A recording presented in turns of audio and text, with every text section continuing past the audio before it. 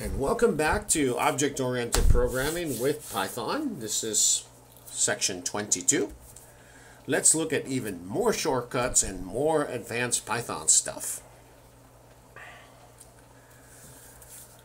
Let's start with easy documentation. You may have noticed that we often see a multi-line comment which is always denoted with three quotation marks after most class and method definitions in the examples. This is because Python will actually create a attribute for each class and method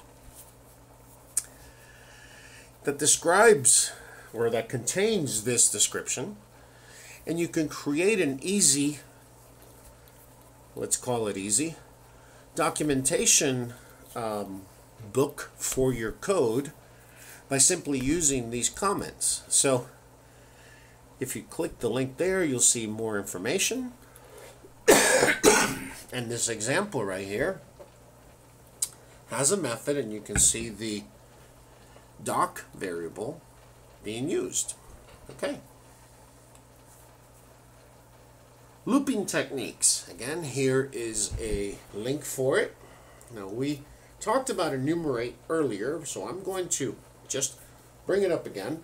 Enumerate is a function that will take a list and it will create a counter that starts with zero so that you now have a counter for each element in the list. So if you look at the example on the bottom right hand corner there, for i and v in enumerate tic-tac-toe, print i and v, you see you get 0 for tick, 1 for tack, and 2 for toe. There are three other methods that are very, very useful for dictionary variables, keys, values, and items.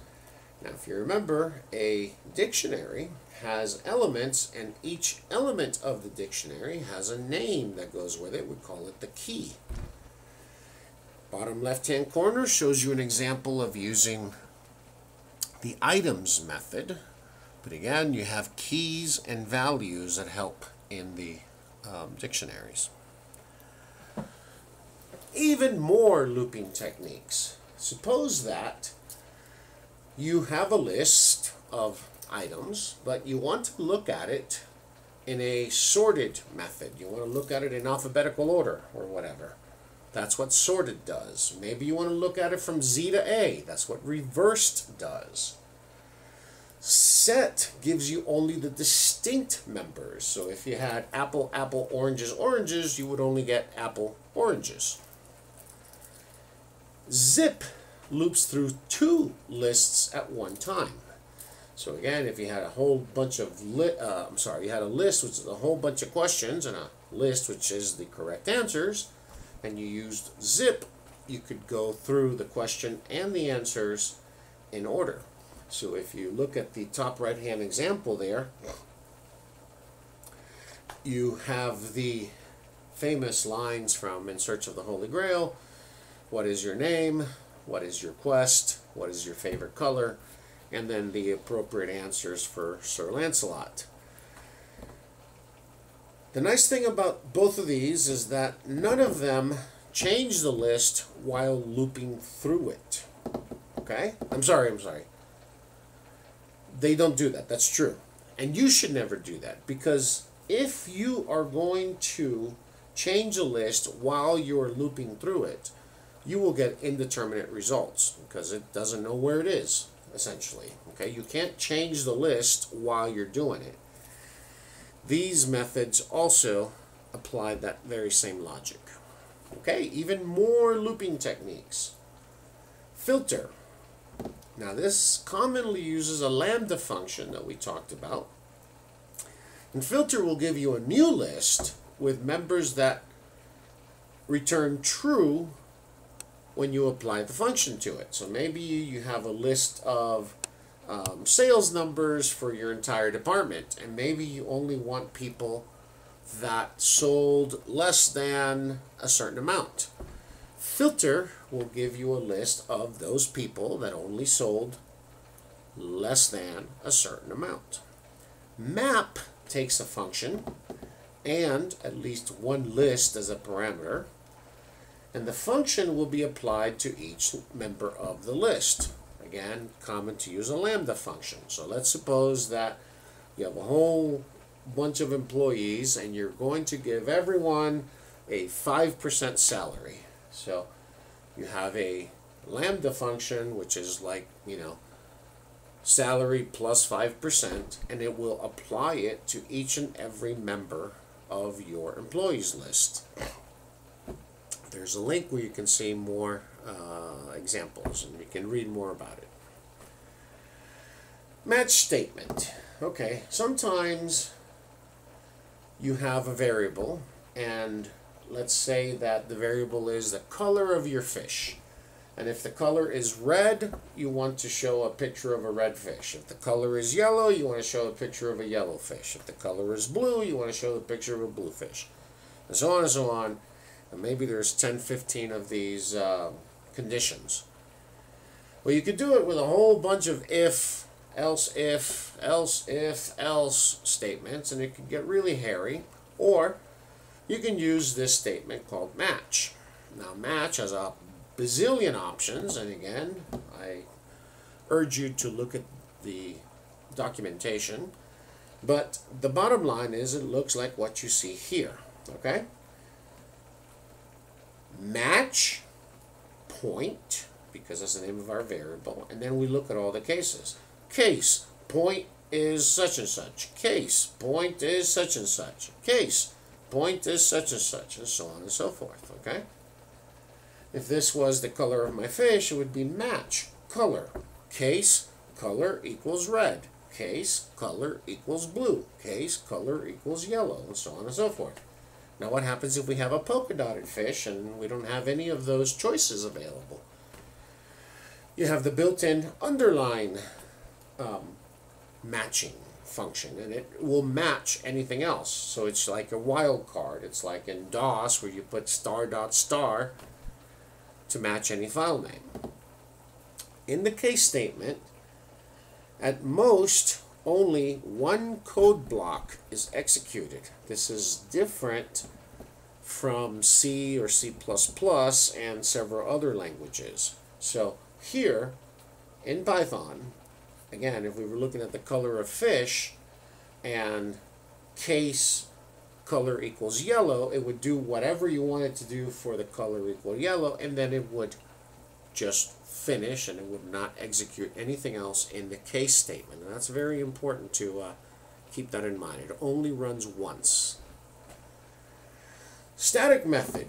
Well, what is a static method? A static method is used for general purpose methods that don't require or don't need to know about other class variables or constants. So there's a class that's built in, it's called math, and there's a function or a method called sine.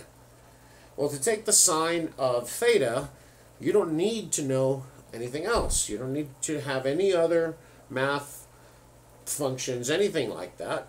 It works independently. So because of that, sine is a static method, and we can invoke a static method by simply saying math.sine. We don't have to create an instance of the math class. At first, this is a little confusing.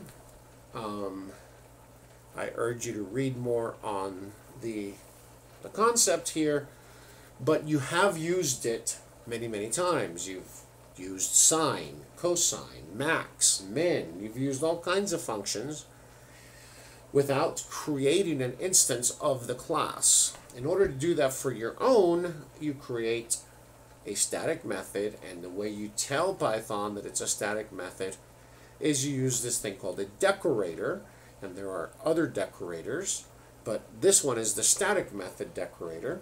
You will note that in the definition you don't use self because, again, it does not need a instance of the class. Similarly, we have class methods. It's not a static method, but it's similar. A class method can be invoked on the class. You don't need an instance, although you could use an instance. Unlike a static method, it does refer to its own class and it can use class variables and constants. So for example, we had a class called physics stuff and we had a constant in there, gravity at sea level, that we used in several methods. So you cannot have that or any of those methods that require that constant be static because it needs to know of its class and it needs to know gravity at sea level, which is defined in the class. So it can be a class method, but it cannot be a static method. Notice that instead of self, we use the keyword CLS in the definition of class. And again, why are we going through all this? Well, because you're becoming advanced programmers and because all of this stuff will be necessary for graphical user interfaces. Sometimes a method will take an indeterminate or a random number of arguments or parameters. So let's take, for example, our function max.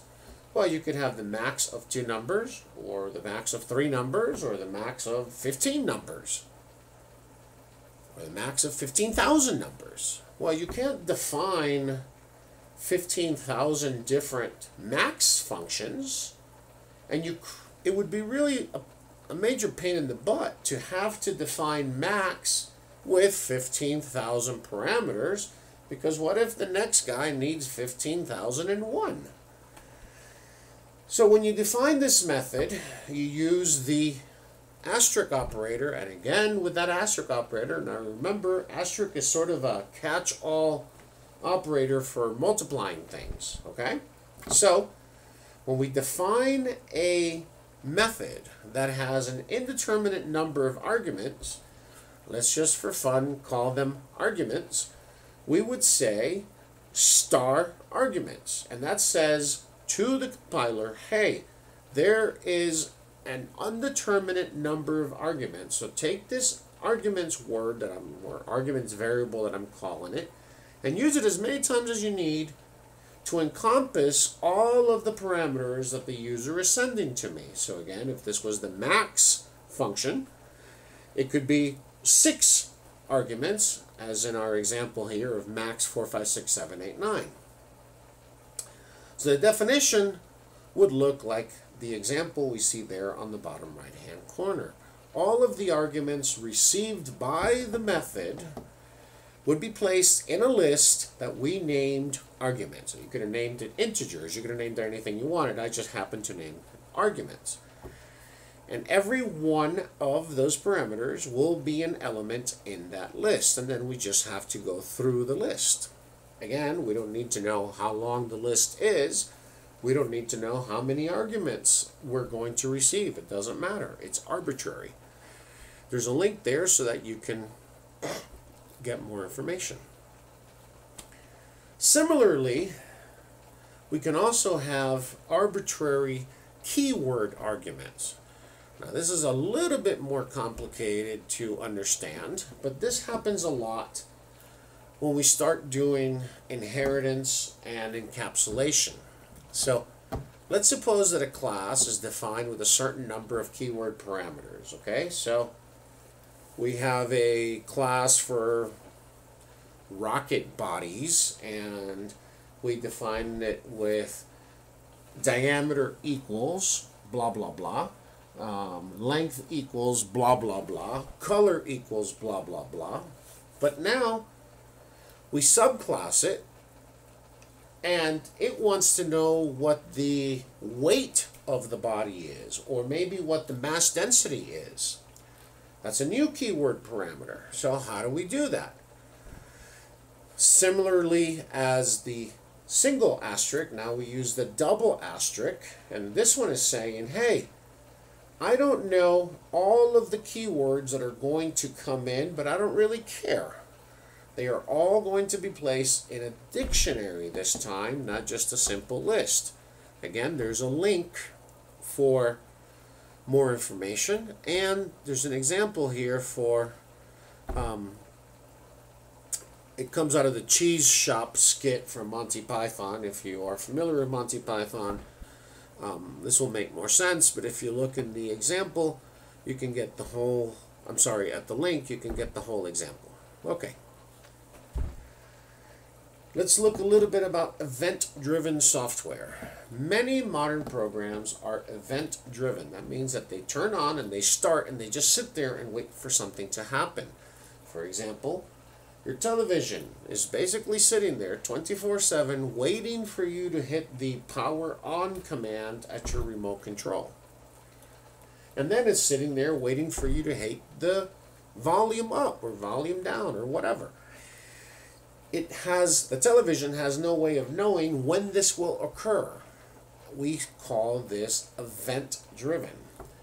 Events typically, not always, but typically will come from some hardware sensor, and that hardware sensor will produce this thing called an interrupt. The interrupt then gets transformed into a software event. So, in the example of the television, the interrupt is that the infrared receiver sees, oh my god, there's an infrared coming at me. I must interrupt the hardware and tell it that I am receiving these infrared codes. It then generates a software event that takes those codes and reads them and decodes them to make sure it is something that is a code for it. I mean, maybe you're pointing the remote control and it's from a different piece of machinery. Software will also produce events, but it'll produce it directly. Events are held in a queue, in a line, let's call it, and it's there's this thing called an event dispatcher. An event dispatcher is kind of similar to a police dispatcher. Okay, it gathers all these events, all these different 911 calls or whatever. It determines the priority level of each interrupt, and then it sends messages to the police cars in the mess in the order of priority, not in the order as they arrive. So an event dispatcher prioritizes the events and then sends them to the appropriate methods to be taken care of, very similar to a police dispatcher. An event, if it's of low priority, may have to wait in the queue for an indeterminate amount of time until a method can process it, especially if a higher priority event is received. Again, if this was a police dispatcher, they get two events. One is, oh, my kitty cat is stuck in the tree, please come help me. And the other one is, oh, there's six guys shooting up uh, the Walmart. Well, you would expect the police dispatcher to send the cops to the Walmart that's getting shot up by a bunch of lunatics. And the kitty cat can wait in the tree. Mouse and keyboard clicks, touchpads, mouse movements, screen swipes, all of those things are hardware interrupts that generate events.